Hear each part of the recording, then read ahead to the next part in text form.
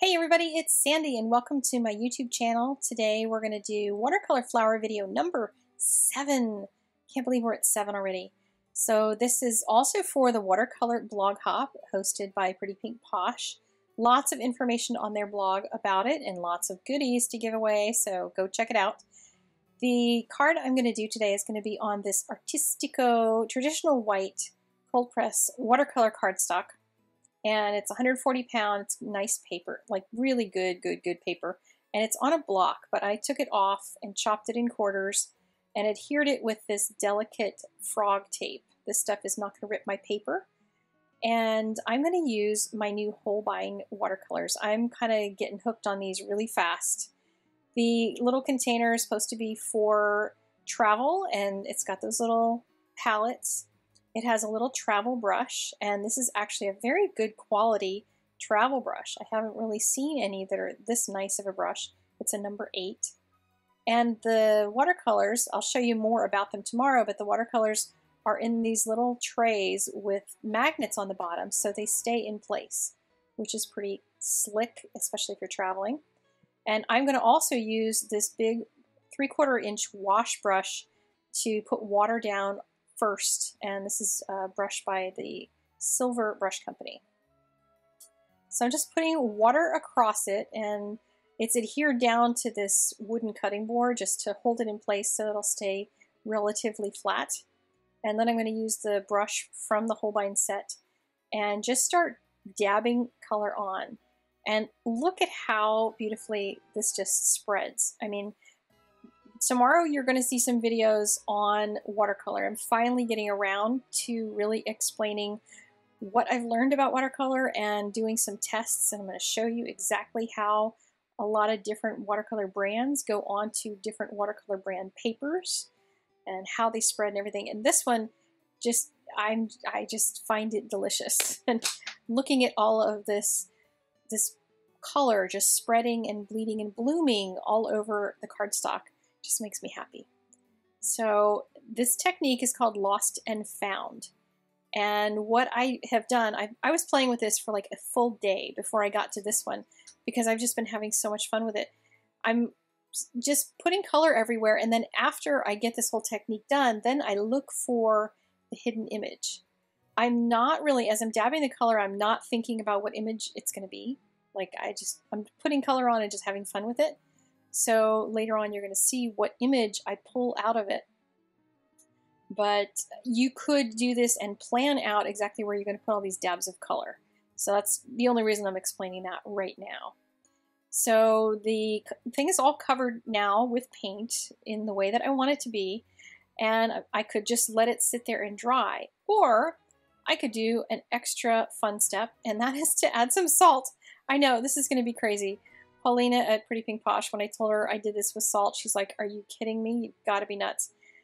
And salt, what it seems to do to this, I read this on a blog, they didn't have any pictures of it, but somebody mentioned salt as part of a technique, and I went, I wonder what it does to the paint.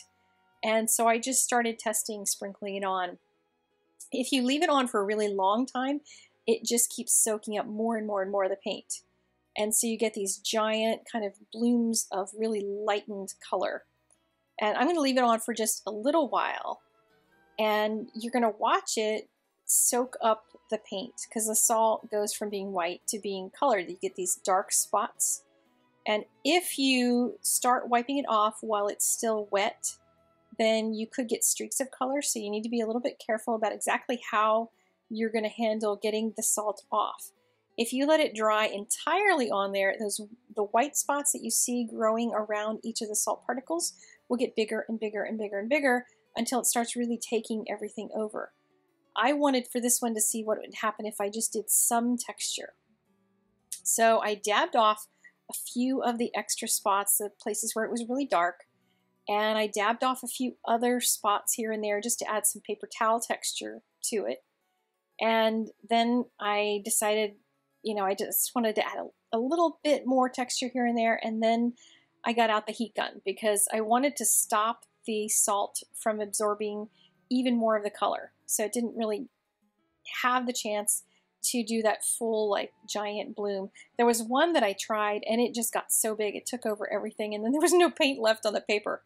And it kind of does eat away at the surface eventually if you leave it on too long. So you don't want to do too much of it, but it's really a fun technique to experiment with. And it's not called the lost and found technique. If you find that somewhere, um, the salt technique, I, I don't know what they call it, but the uh, lost and found idea that I'm putting forth in this is looking for what the image is behind all this when, when this is all revealed. So we're going to see that in just a few minutes. So I got most of the, the salt somewhat dried because that's going to allow me to really gently rub it. I've got a soft, soft Kleenex and I'm just kind of trying to rub over top of the salt so that I don't spread color all over the place and that I don't rip the paper. Because this is, like I said, going to eat away at the paper surface and you want to go really gently with it. And if you wait too long, it could like really get stuck in the paper. But you can see here I've got a bunch of really interesting little splotches. And what I started seeing was a path. That little yellow spot was kind of the sun trailing down and there's like a little trail and the rest of this is just piled up flowers. So what's left now is to find the image that's in there. And I'm going to just add some shadows to bring that scene out. Now, a lot of you may say, I don't see that at all. I only see is splotches. Well, you'll see that in a few minutes as it comes out. There's a bunch of different things that you could end up seeing in there. I mean, this is like the cloud game when you were a little kid and you would look in the clouds and see a bunny rabbit or a kitty cat. Look into something like this and see what you see and what are the, the shapes you see. What are the, the scenes that you might see? Is, is there a mountain? Is there a beach? Is it a seashell there's so many possibilities for what you can see and everybody will see something different. So i'm going to speed this up now so you can kind of see as it develops and as i add more shadows. I'm just going to add them underneath like to, to add some depth to a few of the bushes. And then I'll I'll do a little scribbling and I'm, I'm kind of trying to find some terminology to use when I start doing these things. And I'm kind of calling this dancing. Like my brush is just dancing around the flowers to add some depth to them and I'm just using colors straight from the palette in the Holbein set I'm not really mixing colors except for layering them on top of each other so it's staying fairly pure to what the colors are in the set you could do this with, of course, any combination. And you could probably do something somewhat similar with any kind of paints. You don't have to have these like crazy expensive ones. I don't know how well the initial bleeding and blending will go with other paints and with other papers. I'll, I'll just put that out there. So you'd have to play around with what works and what comes up with the right kind of shapes, the right kind of colors, the right kind of mix but the salt is supposed to work on everything because it was there was like one mention of it on a children's website for like children's arts and crafts things and another on an art journal page that I saw and I don't remember where it was it was just something that stuck in my head that I trolled past at one point and kept saying I gotta try it and so when a watercolor blog hop came along and I wanted to come up with something really cool I thought I gotta try this so it did take me quite a number of tries to get down to something I was happy with, but I have lots more to share on this. This I just wanted the first one to be super special, so I'll do more of these in the future with some of the other things that I learned. Because it's a whole lot of fun. You may have even done this kind of thing when you were in school because this seems very much like a children's thing to add salt to something to see what happens but the adult and artist part is going to be in the adding of the scene and creating a little scene with it.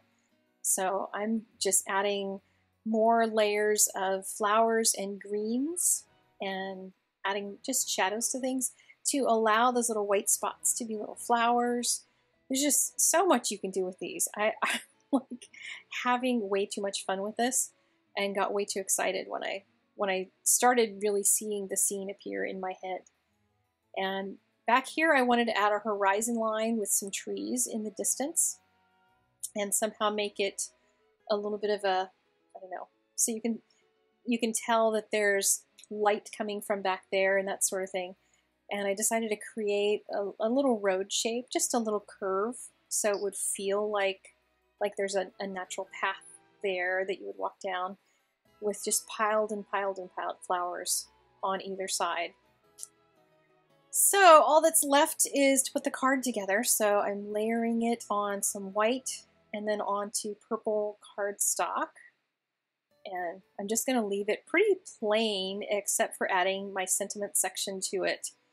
And that I wanted to use the Pretty Pink Posh border die with this uh, little stitching on either side of it and put it across the bottom. It's on watercolor cardstock, so it'll match the same texture as the paper.